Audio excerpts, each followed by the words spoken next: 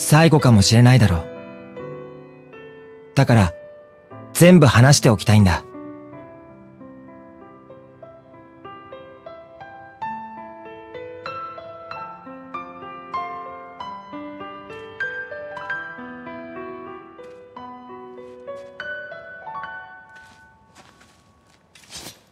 ここが俺の故郷だった。眠らない街、ザナルカンド。千年前に滅んだ町。俺の故郷は、幻だった。俺も、夢のようなもの。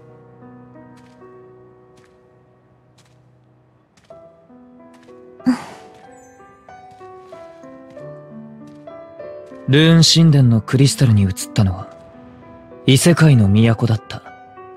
眠らない街、ザナルカンド。光り輝く大都市がパラミティアに現れたという。だが、ザナルカンドに来てみれば、栄えるどころか無人の廃墟だ。ティーダの故郷だというが、大丈夫か？やっぱりダメだった。家に帰れるかなって思ったんだけどさ。ここは、あんたの地元じゃないのか？こっちは、スピラのザナルカンド。俺の町とは違うっていうか、こっちの方が現実っすね。あんた案外回りくどいな。思わせぶりに言われても、俺たちには意味不明だ。容赦ないっすね。何があったか知らないが、言いたくなければ黙っていればいい。無理に話さなくていいよってわけ。話してくれたら手伝えることもあるかもだけど。ごめん。えっと、何から話せばいいかな？どうせ長い思い出話なんだろ全部聞いたら日が暮れる。話せることからでいい。うん。ちょっと、歩いてもいいか？俺も色々整理したい。進めないみたいだな。進む気があれば別だ。パラミティアにありがちな試練ね。通りたければ突破よろしく。めんどくさいなら帰ってもいいけど。進む以外の道があるかよ。お珍しくやる気ね。さてはティーダのために、このザナルカンド遺跡について、あれこれ調べてあげようとか掘り出し物がないか探すだけだ。ついでに何か見つかるかもしれないが。ありがとな。でも、俺も戦うっすよ。武器も見つかったし。あんたはまだ本調子じゃないだろ。素振りでもして勘を取り戻してくれ。そのうち嫌でも戦ってもらう。それまでベンチで控えってか？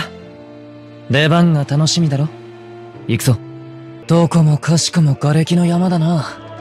崩れて何百年も経ってそうだ。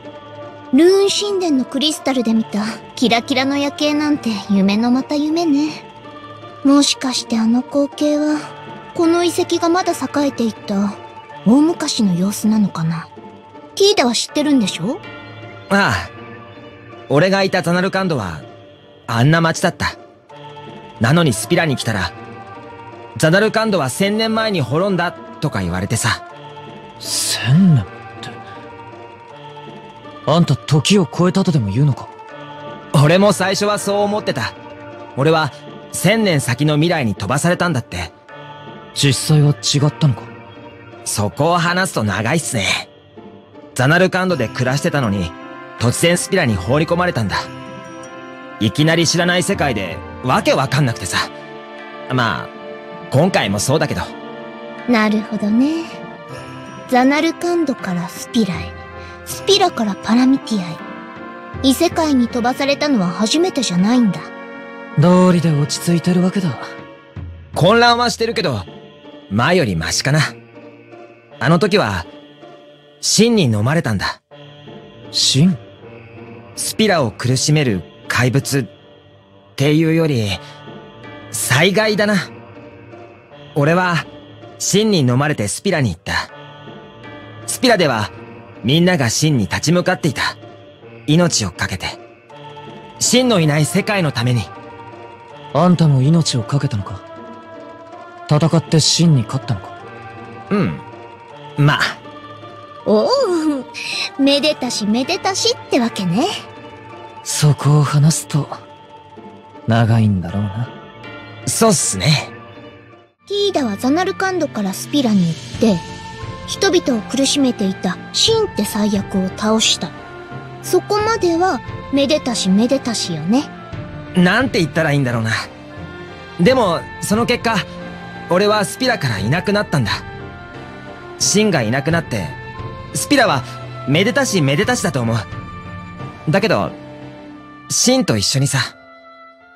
俺も、スピラからいなくなった。ザナルカンドに帰ったの？いや、ザナルカンドには帰れなかった。そう言ってたな。ザナルカンドは、亡くなったんだ。あの街は、シンと似たようなもので、シンを倒せば、一緒に消える。それは分かってた。じゃあ、ティーダは故郷に帰れなくなるのに。覚悟はしてたっすよ。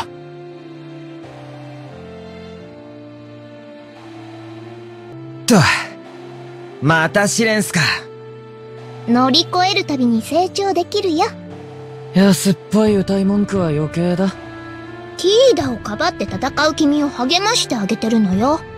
それが余計なんだ。そろそろ俺も戦う？遠慮も余計だ。まあ、俺がやられたら変わってもらうさ。シンとかいうのを倒したあんたなら、楽勝だろ？了解。そうならないよう、願うっす。シンを倒して、あんたは消えた。あんたがいなくなった後、スピラはどうなったんだ？わからないっすよ。平和で、みんな元気にやってるって信じたいけど。みんなってどんな人たち？仲間、一緒に旅して戦ったんだ。でも、仲間だけじゃない。スピラで会った人たち。いろんな奴がいて、ムカつくのもいたけどさ。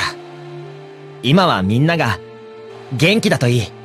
いい思い出がいっぱいなんだね。世界を苦しめるシンとの戦いは、もっと悲壮感たっぷりだろうなと思ったけど、案外笑って旅できたのかな。そうだな。笑って旅したっていうか、元気に笑おうとしていた、かな。俺は、何も知らなかったから、素でやってたんだけど。何か裏があったわけだ。ああ、知らなかったのは、俺だけだった。ねえねえ、シンを倒す旅の裏って何？要するに、何かえげつない秘密があったわけでしょ？当ててみろよ。そうだな。シンは倒しても復活するとか？知ってたんすか？え？正解？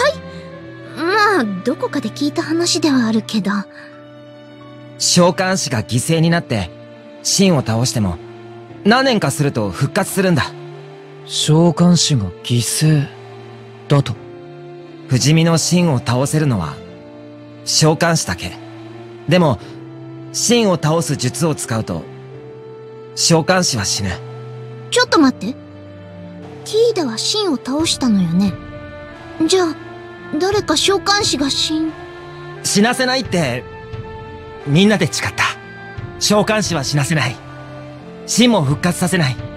俺たちは、誰も犠牲にならない方法を探したんだ。そっちは成功したの？したんだろうな。シンも、シンを生み出す奴もいなくなった。そして、あんたもいなくなった。そういうことっす。それが成功でいいのか？え？あんたは消えることになった。誰も犠牲にならなかったわけじゃない。そうだけどさ。俺はそれでよかったんだ。それが、俺の物語だった。やっぱりティーダはさ、帰りたいんじゃないの？俺がいたザナルカンドは、もうないんだ。スピラに帰ればいいじゃない。あ、帰れないっすよ。シンを倒して、俺は消滅したんだから。消滅ったって、ティーダは現にここにいて、ぼちぼちピンピンしてるじゃないの。どういうことよ？俺に聞かれても困るっての。そんなに帰りたくないの？もういいんだ。俺は、夢みたいなものだった。もともとスピラにいなかった奴が、消えただけの話。それだけの話で終わる？君のいなくなった世界に、残された人たちの思い出までもが消えたと思うの？それは、ティーダ。改めて聞かせてくれ。あんたは自分が消えると分かって、シンを倒したのか？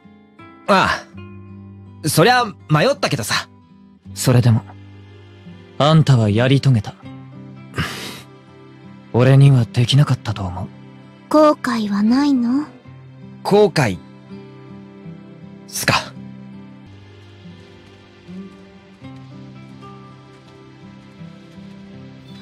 されてる。ここで行き止まりね。違う道を探すか。違う道っすか。俺、もっと探せばよかったのかな。ああすればよかった、こうすればよかったなんて、考えればいくらでも出てくる。俺が間違ってたって、思うか。今あんたが後悔してるなら、間違ってたのかもしれないな。俺にはわからない。あんたは選んで、行動した。それは他の誰でもない。あんたの決断だったはずだ。うんそうだ。全部、俺が選んだ。これが、俺の物語だって。決めたもううだうだすんのやめるせっかくパラミティアに来たんだし、俺、こっちでやっていくっすよ。そうだな。よし光の戦士になってやるは？何それ？いきなりにも程があるな。パラミティアに流れ着いた奴は、大体光の戦士を目指して戦うんだろ？遊び半分だと死ぬぞ。勝負に手は抜かないっす。とにかく鍛えて強くなればいいんだろだったら、強敵と戦うのがいいよな。なあ、手強い魔物と勝負できる訓練場とかないっすか？ま、本気なら止めないけどな。